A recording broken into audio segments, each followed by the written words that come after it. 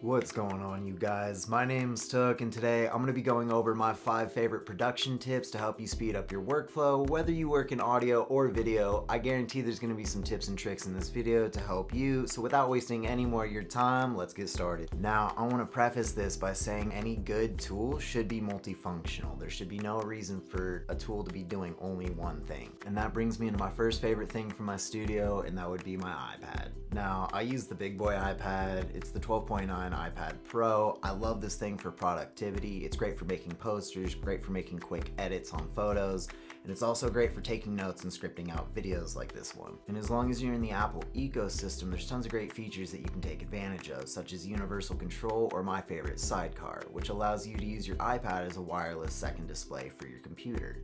And because it's wireless, that allows me to do things like throw it into the booth with Ableton when I'm recording so I can monitor myself live.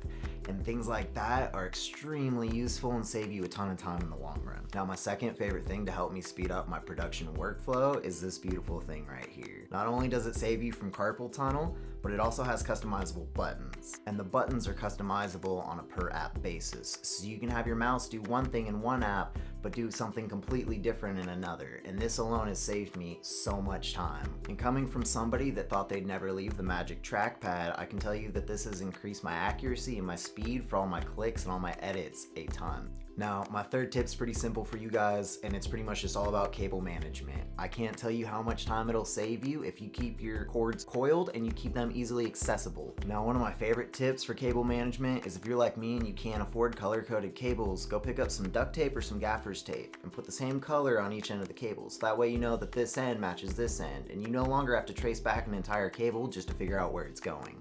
Now my fourth tip for you guys is talking about things that turn software into hardware. My example is the Ableton Push 2. Now I just prefer real buttons and real knobs much more than actually clicking on my computer. For as much time as I spend on my computer, I hate it. If I can twist a knob instead, I'm all about it and I feel like it makes your process much more personal and much more customizable. Now this is specifically for Ableton, but there are plenty of other options out there for other digital audio workstations or for video editing software. Just make sure you do your own research and you get one that's going to work for you, your workflow, and your software. And that leads me into my fifth and possibly most important tip for you guys is learn your keyboard shortcuts.